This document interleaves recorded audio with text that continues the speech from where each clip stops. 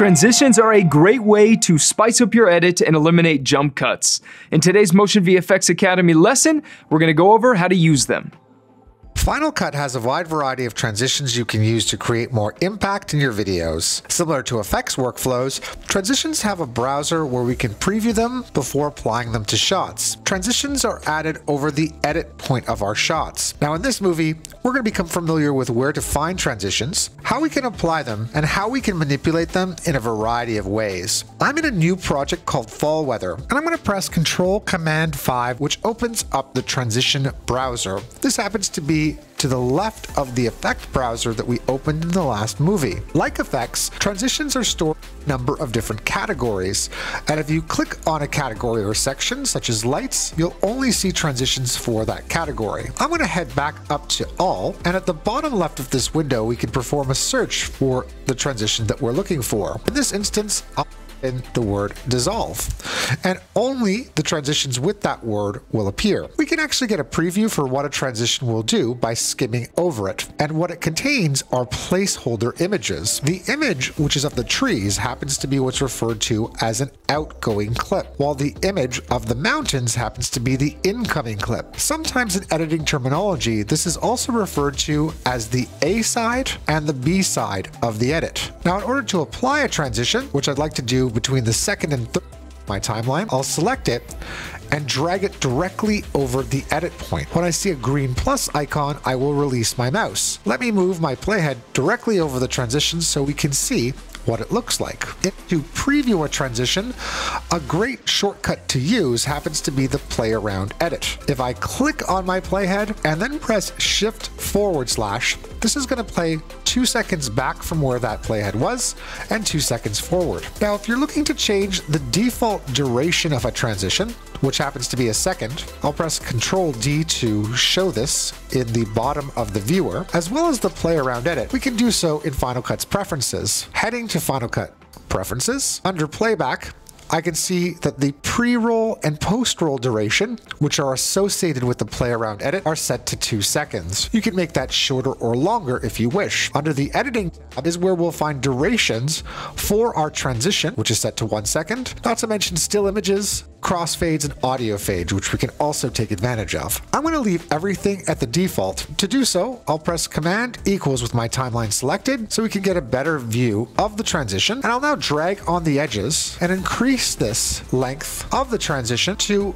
around 1 second and 15 frames, adding 15 frames onto the length of this transition. Now, transitions are based on how many handles you have in your outgoing and incoming clip. To have a good visualization of this, let's go inside the Precision Editor, which we can get to by double clicking on the edit point or the transition in this instance. You can see the transition in the middle, and if we look at the top, this is our outgoing clip or the A side of the edit. And these are the frames from here to here that are currently being used in the transition. Here's the incoming clip and the frames being used in the transition. Anything grayed out to the left of the incoming clip is available for use or handles. And in this instance, anything to the right of the outgoing clip that's grayed out is the handles of that clip. You can change the actual edit position by dragging here in the middle or extending the length of the transition even further in the precision editor.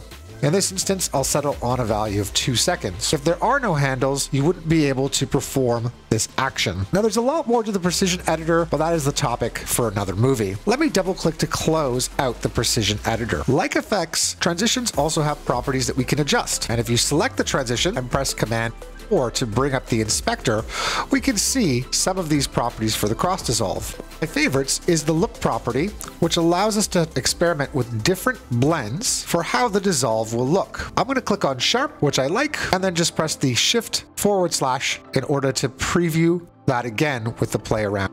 If we like a transition, we can easily copy this to other clips. I'll head back into my timeline and press Command minus to zoom out, and then I'll option click on the middle of the transition to which I'll drag out a copy and to the next edit point.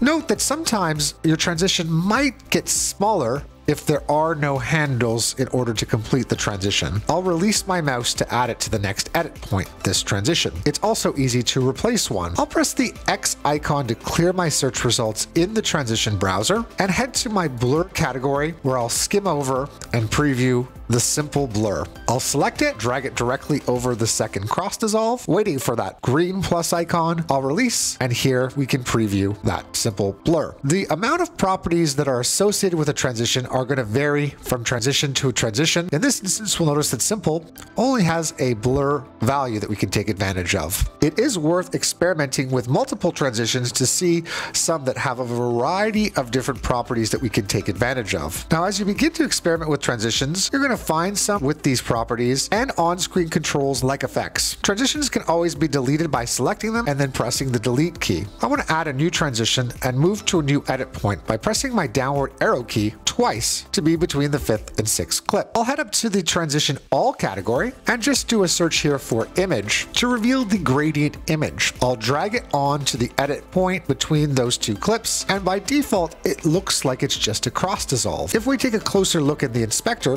we can see that the gradient image is looking for a source. This happens to be any black and white image which will drive how the transition occurs. One way that we can take advantage of this is to actually, for our browser, I'll head to the title and generator sidebar and in the generator category, find the gradient generator. If I press E, that will be appended to my timeline. I'll then press C to select the gradient. And in the inspector, I'll just change the color 1 to white and the color 2 to a black color. I'll also change using the on-screen controls how this linear gradient takes place. And if I zoom out here, by clicking on these controls, I can drag these even further. I'll click on here again just to fit that gradient to the window. That's going to drive the gradient transition. I'll move forward in my timeline where I'll select that transition again, click on this drop well, which acts very similar how drop zones perform, which is a topic for another movie. I'll skim to my timeline where that gradient is, click on it, and we can see that the transition is now being controlled by this linear gradient. I'll apply that, move back to where the transition is in my timeline, and just press the shift forward slash key in order to preview it, noting that the transition starts at black and then transitions to white based on those colors of your gradient. Now let's review this information. As we saw, we can apply transitions easily using the effect browser. I'll just clear my search results to reveal all of the transitions that are inside of Final Cut, not to mention that we can skim over transition in order to preview it using those placeholders that represent the outgoing and incoming clip. The default length of any transition that you add can be adjusted with preferences, but you could also change the length of a transition in your time based on clips handles, or by selecting it and pressing Ctrl D and just simply typing a number, such as one period, referring to a one second transition. You can also easily replace copy and delete transitions in your timeline. Have fun experimenting with them in order to see the different controls